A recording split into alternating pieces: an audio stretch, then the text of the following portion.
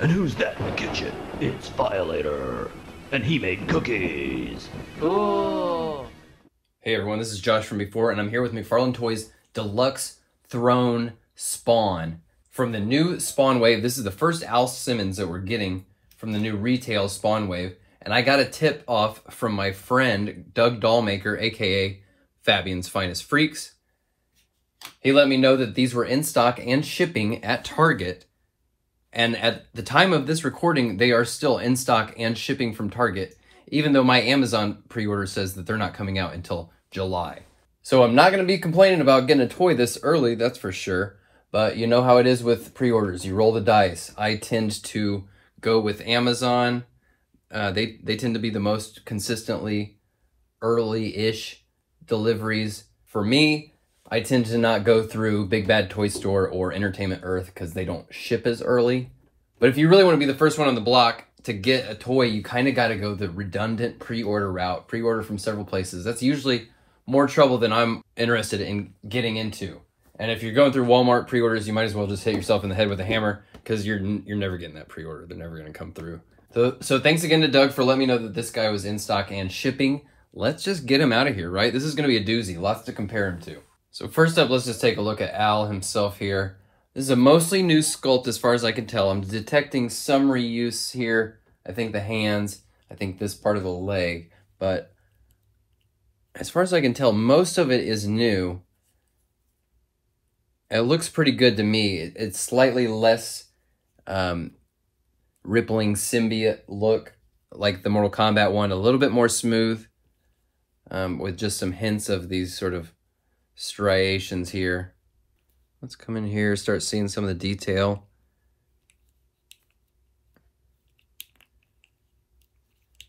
Start moving them around. Great movement here. I love these butterfly sockets here that allow for a great expressive range of motion and it's you can see him. And without that cape over his shoulders, you can see that much more how, how effective these are at, at tiny, subtle body language shifts that really can sell a great pose. Double elbows get nice and closed. Kind of unusual here that this is just left unpainted as if it's not wrapped around, as if this gauntlet isn't fully wrapped around. Makes it feel like something's missing. It makes it feel like it really does need that paint right there. And you can see kind of this, it's meant to be sculpted as if the gauntlet wraps around. Ball joints at the hand. He has these kind of pinchy accessory hands, which are fine. But I do much prefer some of those wild gesturing hands. So now we come to the torso. This is where we're getting a lot of big improvements here. Mortal Kombat Spawn definitely couldn't do stuff like this. Extreme. So that's great to see. This um, torso piece almost, it's it's rigid up here, but then right at the edges, it's got a lot of give. That's interesting kind of hybrid material here. The skull and the chains, they look okay. I, I appreciate that they got paint on them. They're holding a little bit of detail, but they look a little gummy, you know?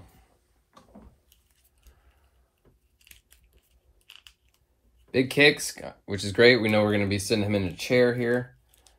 So he's definitely got a ton of movement at the, at the legs. Definitely some hip rotation. That comes in more as you lift the legs. The legs both go forward without like splaying out too much. They stay nice and centered there. Big kicks back. This, this is going to be a nice, fun, posable figure. I think everyone that was disappointed by the lack of articul articulation in Kickstarter Spawn, they're going to find a lot to enjoy here. I think this is an improvement from Mortal Kombat Spawn for sure. I mostly like the Kickstarter Spawn. We'll look at them next to each other here in a second, but Keep coming down through this stuff. Sculpted ball joint ankles.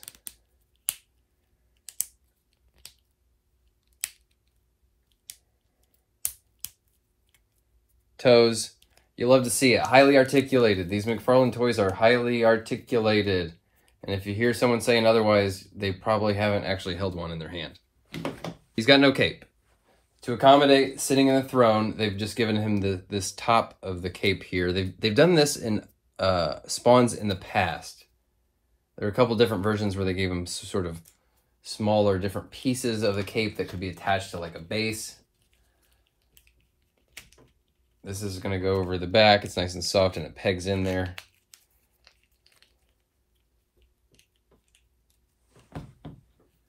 That looks pretty cool. I love the shape of this collar. I love, love the way that's blown out there uh, in an asymmetrical way and these great points on the shoulder and nice like ratty looking material there. It's got this kind of unusual sort of flappy forward thing, which I think is meant to sort of look best when he is going to be sitting in that throne with his arm kind of perched on the on the armrest. We'll get there in a minute. As far as like displaying this guy with this cape piece outside of the throne pose, I don't know. I mean, I love what's here, but it really doesn't quite feel like Spawn, right?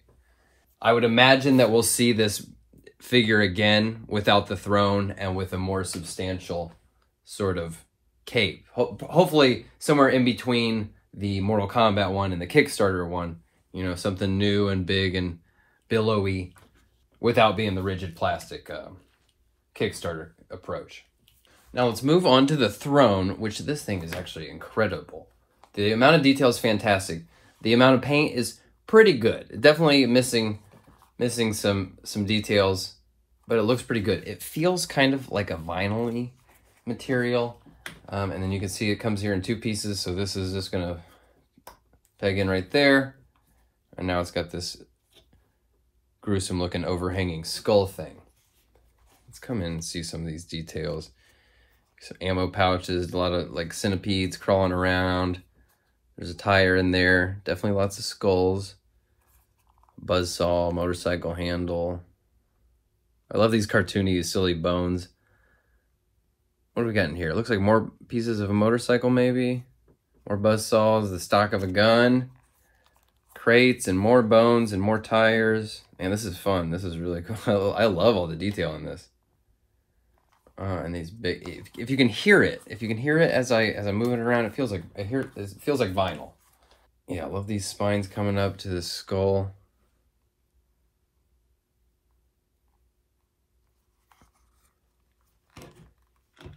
Great detail. With some extra paint, you could really make this guy sing. Now let's see what it's going to take to get this guy in this chair. Probably not too much. I think he's...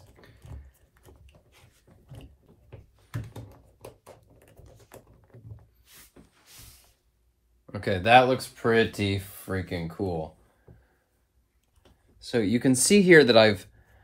I was thinking at first that this flap was meant to go over the bicep and the forearm, but I posed it here with it wrapping around the armrest of the throne, and I'll show you why. Now I have here the original throne spawn. This is on loan from the collection of Galactic Geek. That's Galactic underscore Geek. And actually, not long ago, I did a collection tour at Galactic Geek's house. And I posted that video I posted that video, what feels like a million years ago now, but it was actually only two months ago. And I posted that video when we hit 3,000 subscribers on this channel, and now we're at nearly 4.5 thousand. So if you are new and you missed out on that collection tour, check out that video. We have fun. We clown around for about half an hour and appreciate Galactic Geek's huge collection of not just McFarlane, but Hasbro, Marvel Legends, and, and Star Wars Black Series, and, and the biggest Toy Story collection I've ever seen. But what you can see here is this really is from back in the day when McFarlane did just make statues. You got this spawn that has almost no articulation in the legs. Um, just some cuts there right at the hip. He's meant to go in this chair permanently. When you hear people say McFarlane makes statues, they're talking about this era. This era is is long long past. What is also long past is the tremendous amount of paint apps on this thing. So you can definitely see this original one. It does have an edge on the new one in some ways. I love the little rats um, on the base here. Obviously, the paint is a big improvement. Can you, you can see here how long uh, McFarlane's been using this um, rubbery stuff. This is years old. It's holding up pretty well. This nice highlight underneath here kind of gives the whole thing more dimension. And it has this larger base where the feet can step onto the base of the throne itself, which is nice. But like I was mentioning, the way the fabric of his cape folds underneath here on the statue, I think shows us how it's meant to, to be on this one. Because it also has this cape running down here. This one has the cape running around the same way to suggest that Spawn is sitting on his massive cape. This is super cool. I mean, there's certainly, you know, the paint is a big factor on what makes this original uh, look so great comparatively. Uh, but the truth of the matter is, we used to, we used to get a lot of paint. Now we get a lot of articulation. And while that is a bit of a bummer, uh, I bought this one. I don't own this one. You know, what does that tell you about which I prefer? I prefer the articulation. Now let's give it a spin here. A tremendous amount of presence on this thing, especially once you see it from like more of a three quarter or profile view. This thing's gonna look great on a shelf. This, in my opinion, is so much preferable to a just standard base. Bringing the base up uh, into the realm where the figures live and giving them something to interact with. I much, much prefer that over a, a standard base. So I love to see this. And even though it's our first Al Simmons, you know, to, to come out of the gate strong with, with something like this, the full blown throne, it's nice. It's nice to see. Take a look at Al here off of the throne with the cape still on. And some of these shapes are kind of cool, but I think it's a weird, it would be a weird choice to, to have this on him and not have him sitting down especially the way this big flap here hangs on the side. Wait for it. See the way that juts forward like that's kind of weird. And now here he is without the cape. This is going to be fantastic for people that prefer cloth capes and love to give uh, figures their own custom fabric capes. Also, it's going to be great for people that want to kind of kit bash this and Kickstarter and Mortal Kombat 11, some of those other spawns that are floating around to create their own ultimate preferred spawn figure. So let's look at this guy with some of those other figures now. Now these two right here are, I think, the biggest points of comparison, especially if you're trying to kit bash your own. So for one, the Kickstarter Modern Spawn is inaccurate with, with the placement of the big boot. I think this is accurate to like one cover that somebody drew the wrong way. It's meant to be on the right foot and really give it that asymmetrical, lopsided look. Now, both these guys have better paint apps. There's more weathering and more details brought out by the paint on these guys. This guy clearly has the best chains. Um, these are kind of interesting with the barbed wire, but I think these have an edge on those. This cape has never quite done it for me. It's kind of cool and all, but it's not quite Spawn. Obviously, this is a real Spawn cape, but it in, it prohibits the figure from moving that much. I know people had a lot of problems with this Kickstarter spawn. I, I'm on Todd's side for most of it. I think this torso still looks aces. It looks streets ahead of both these. Uh, the the one thing that I didn't love was the weird plug head um, with with no articulation at the base of the head. It's at the bottom of the neck, and it you can't do anything. As soon as you move it, it look it makes a weird gap. It kind of it's annoying. See, so when you come in and like compare some of the crucial details, I think he's got the weakest ones of the three. This is Mortal Kombat's big glove and big boot. Maybe Throne Spawn's boot. Throne Spawn's boot is cooler, but the paint on Mortal Kombat's looks looks better.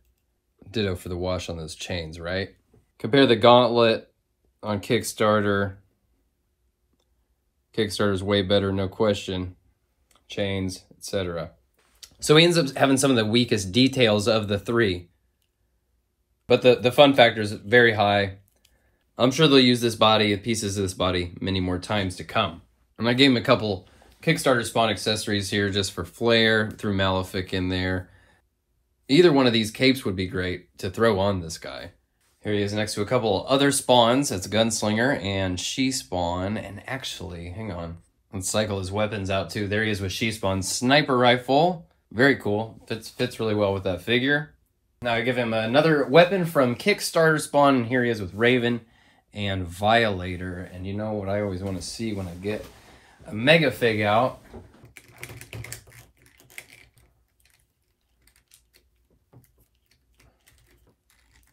Oh, yeah. It's kind of a squeeze, but he can definitely hold on to that spawn. And of course, balance is going to become an issue, and you can see his hand's not wrapped perfectly around, but he can kind of pinch him in there, and I bet with some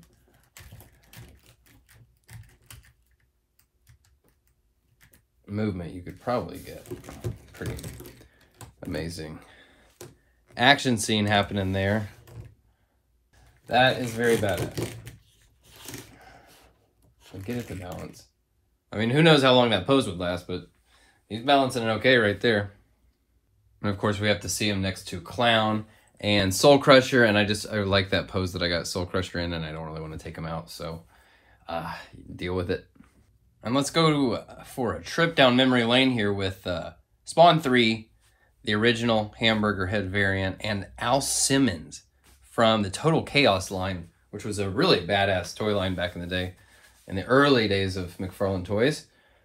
And we can't leave the throne out of the comparison, so here it is next to the Darkseid throne from DC Multiverse and the OG one. And while we're here, let's welcome to the Hall of Fame the one and only Galactic Geek. That's Galactic underscore Geek. Thanks again for letting me use this throne spawn here, this OG one. Galactic Geek and I, we used this spawn back when we made the Spawn Dreamhouse commercial. If you haven't seen that, do check it out. So that is Throne Spawn.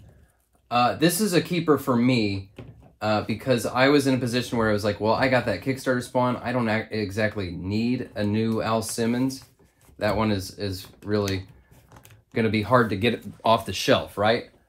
Uh, but then coming with, in hard with this throne, this is exactly what I was looking for for a new spawn release. But if you're not digging the throne and you'd rather just get a new spawn with a full cape for 20 bucks, then I would say wait, and that's probably going to happen. And not just that, but we'll probably get a retro uh, OG spawn without the big boot. Uh, you know, the same torso with different arms and legs. I, I'm sure we'll be seeing that happening in the future. So make up your own mind. For me, this is this is much needed addition to the collection. If not, hold out. Uh, you, will you'll get a twenty or twenty five dollar one with a full cape. It'll happen. So there you go, folks. Thanks for watching. I will talk to you all very soon. Bye.